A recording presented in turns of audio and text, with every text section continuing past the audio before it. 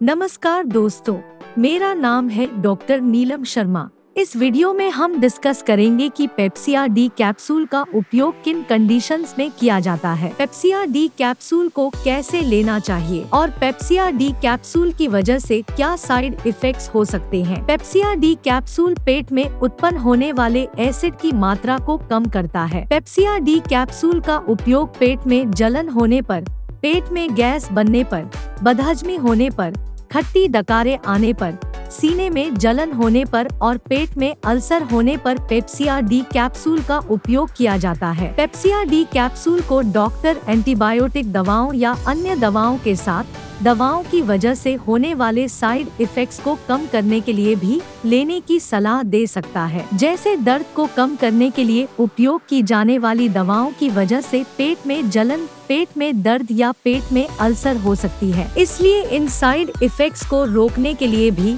आपका doctor पेप्सिया D capsule को दर्द की दवाओं के साथ लेने की सलाह दे सकता है। ज़्यादातर एंटीबायोटिक दवाओं के सामान्य साइड इफेक्ट्स में उल्टी आना उल्टी आने का मन होना और पेट में गैस बन सकती है। इसलिए एंटीबायोटिक दवाओं की वजह से ये साइड इफेक्ट्स ना हो। इसलिए आपका डॉक्टर पेप्सिया डी कैप्सूल को एंटीबायोटिक दवाओं के साथ भी लेने की सलाह दे सकता है। इसके अलावा पेप्सिया डी कैप्सूल का उपयोग कुछ मेडिकल कंडीशंस जैसे गैस्ट्रिक अल्सर एसिड रिफ्लक्स और जोलिंगर एलिसन सिंड्रोम को ट्रीट करने के लिए भी किया जाता है। जोलिंगर एलिसन सिंड्रोम एक ऐसी स्थिति है, जिसमें पेट में एसिड का उत्पादन बहुत अधिक होता है। पेप्सिया डी एक ब्रांड नेम है। पेप्सिया डी कैप्सूल के अंदर दो दवाओं का कॉम्बिनेशन होता है। पेप्सिया डी कैप्सूल के अंदर सॉल्ट कम्पोजिशन रेबिप्राजोल और डोमपेरिडोन होता है। दोस्तों, अगर आपको वीडियो पसंद आ रहा है तो कृपया वीडियो को लाइक करना न भूले। अब अब हम डिस्कस करेंगे कि पेप्सिया डी कैप्सूल की वजह से क्या साइड इफेक्ट्स हो सकते हैं। वैसे तो ज़्यादातर व्यक्तियों में पेप्सिया डी कैप्सूल की वजह से कोई साइड इफेक्ट्स नहीं होते हैं। लेकिन कुछ परसेंट व्यक्तियों में पेप्सिया डी कैप्सूल की वजह से कुछ सामान्य साइड इफेक्ट्स हो सकते हैं। जैसे पेट में दर्द,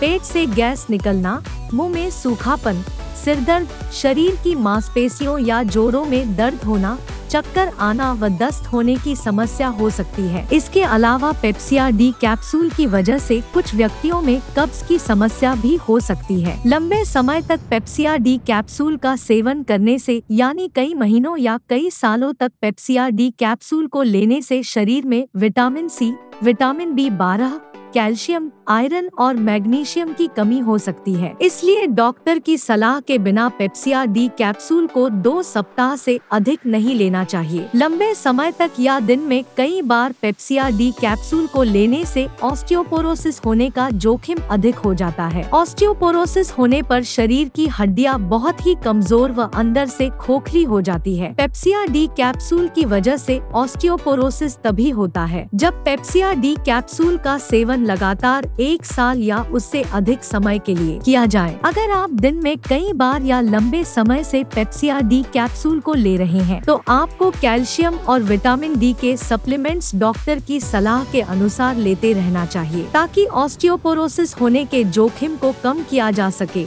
या आपको कैल्शियम से भरपूर खाद्य पदार्थों का सेवन भरपूर मात्रा में करना चाहिए। और विटामिन डी के लिए हर रोज 10 से लेकर 15 मिनट सुबह की धूप में बैठना चाहिए। अब हम डिस्कस करेंगे कि पेप्सिया डी कैप्सूल को कैसे लेना रिकमेंडेड होता है। 18 वर्ष से अधिक उम्र के ज़्यादातर व्यक्तियों को डॉक्टर पेप्सिया डी कैप्सूल को दिन में एक बार और सुबह खाली पेट लेने की सलाह देते हैं। पेप्सिया डी कैप्सूल को खाना खाने से कम से कम कम एक घंटे पहले लेना चाहिए। पेप्सिया डी कैप्सूल की खुराक उम्र, शरीर के वज़न और बीमारी की गंभीरता के आधार पर कुछ व्यक्तियों में इससे अलग भी हो सकती है। इसलिए आपको पेप्सिया डी कैप्सूल को लेने से पहले डॉक्टर से परामर्श लेना चाहिए। अब हम जानेंगे कि क्या प्रेग्नेंट महिलाएँ और स्तनपान करा रही महिलाएँ पेप्सिया डी कैप्सूल को ले सकती है या नहीं। वैसे प्रेग्नेंट महिलाओं और स्तनपान करा रही महिलाओं के लिए पेप्सिया डी कैप्सूल का सेवन करना रिकमेंडेड नहीं है। लेकिन ज़्यादा ज़रूरत पड़ने पर डॉक्टर प्रेग्नेंट महिलाओं और स्तनपान करा रही महिलाओं को पेप्सिया डी कैप्सूल को लेने की सलाह दे सकता है। इसलिए डॉक्टर की सलाह के बिना प्रेग्नेंट महिलाओं और स्तनपान करा रही महिलाओं को पेप्सिया डी कैप्सूल को नहीं लेना चाहिए।